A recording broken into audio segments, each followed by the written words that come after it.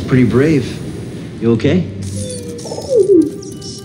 Wait, I can help you with that. Will you let me? Oh, okay.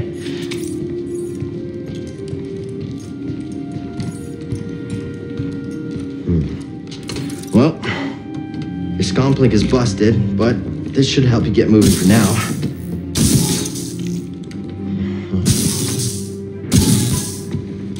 Okay, try that.